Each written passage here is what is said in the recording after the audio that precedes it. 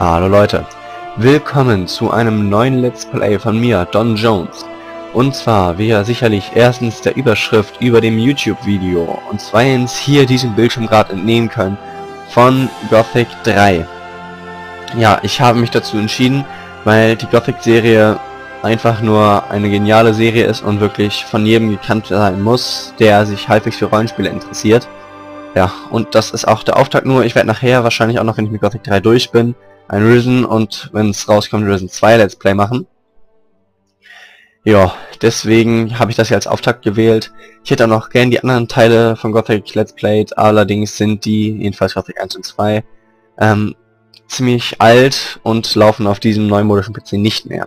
Selbst das hier hatte ab und zu mal ein paar Probleme. Ich hoffe mal, ihr seht es mir ein. Ihr seht es mir nachher nicht. Na, ich habe auf jeden Fall schon ein paar Testaufnahmen gemacht. Leider einmal Mikrofon vergessen einzuschalten.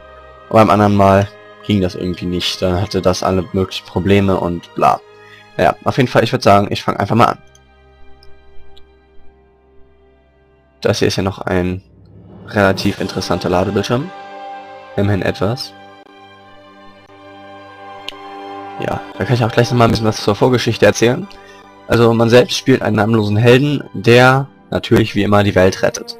In den ersten beiden Teilen besteht sie aus dem Minenlager auf Korines, beziehungsweise nachher auch der Insel Korines. Und jetzt im dritten Teil Mythana, Nordmar und Varant. Seht ihr vielleicht auch im Hintergrund auf der Karte, ich habe jetzt keinen Most, soll ich drauf zeigen. Ähm, Im ersten Teil, der, wir sind ja in der Mitte, ähm, werden wir in ein Gefangenenlager reingeschmissen und dort werden wir auch dann sofort von jemandem empfangen, den ich euch nachher noch näher vorstelle, weil der hier auch vorkommt. Alle Personen, die am Anfang einen begleiten, kommen auch schon in den ersten beiden Teilen vor. Das heißt, zu dem werde ich eventuell noch was sagen, aber ich glaube, jeder, der sich das hier anguckt, wird wahrscheinlich was von Gothic wissen. Deswegen denke ich mal, dass ich das doch nicht sagen werde.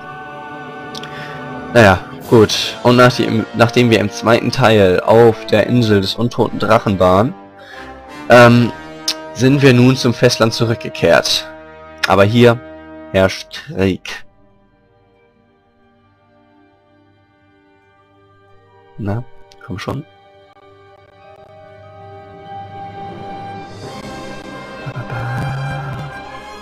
Das wäre der perfekte Auftrag eigentlich gewesen, damit das jetzt zu Ende geht, aber... Mh, hm, unglaublich. Trinke ich so lange eben noch einen Schluck.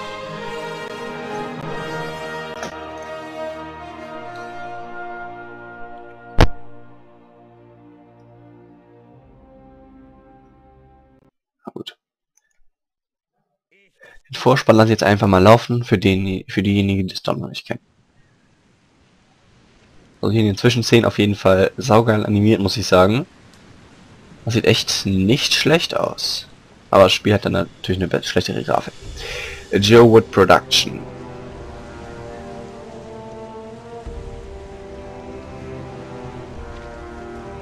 The Piranha Bytes Game.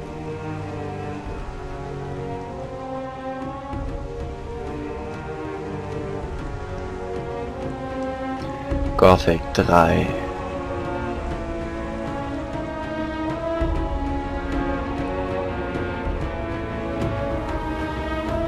Managing Director, Director Michael Rüber oder Michael Rüber. Project Management Michael Hutch, Björn Pankratz. Äh, ja, das sind zu viele Namen. Ich halte jetzt einfach mal die Klappe und guck auch zu.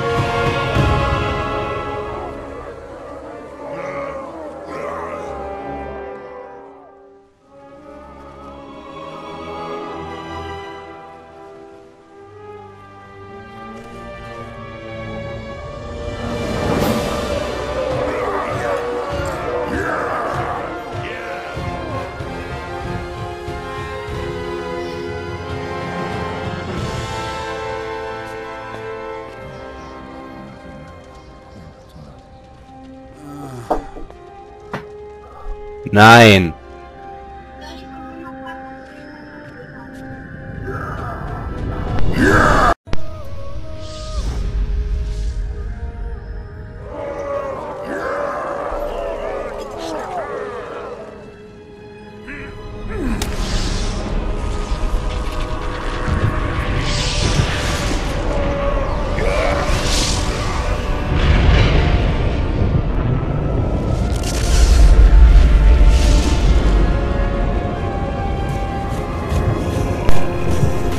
Kurze Unterbrechung in meiner kurzen Stille. Meine kleine Schwester wollte was von mir. Manchmal können die echt nerven. Ja, aber ihr habt nichts vom Spiel verpasst. Nur, dass König Rober halt jetzt seine Magier mit dem Erz geröstet hat. Aber das sind jetzt wir und jetzt geht's auch gleich los. So, wir sind in einem Dorf angekommen. Und was ist hier los? Das gibt's doch nicht. Die Orks.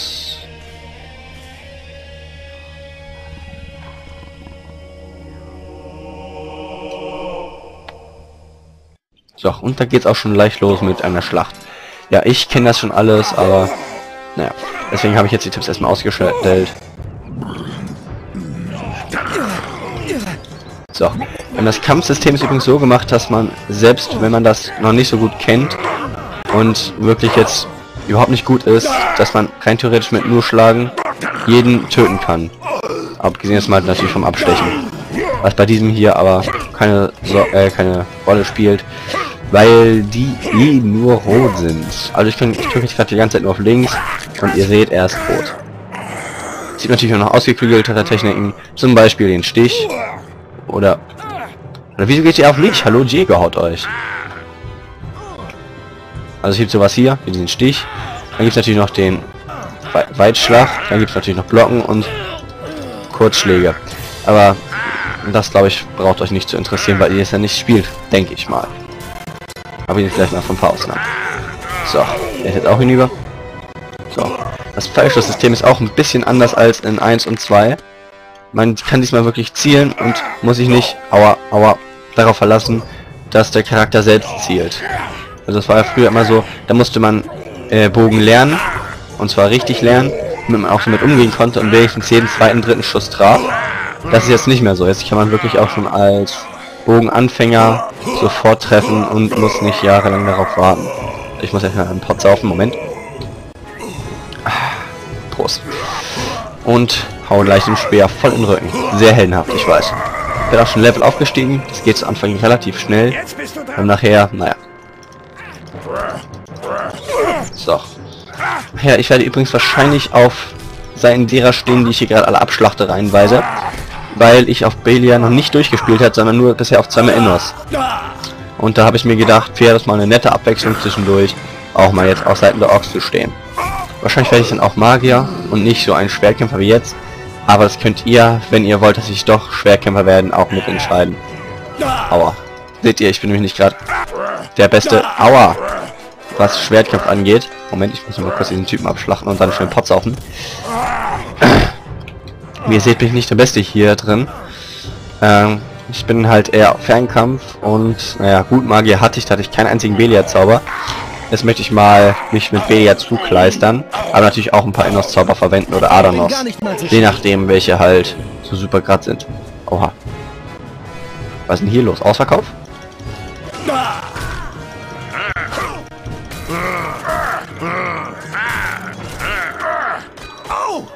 Na,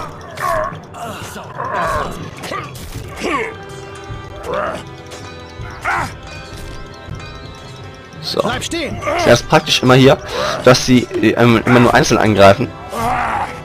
So. Aber jetzt langsam. Noch dich lasse ich nicht weglaufen. So. Gleich wieder der nächste Tod. So. Und nun machen wir jetzt erstmal ans Plündern.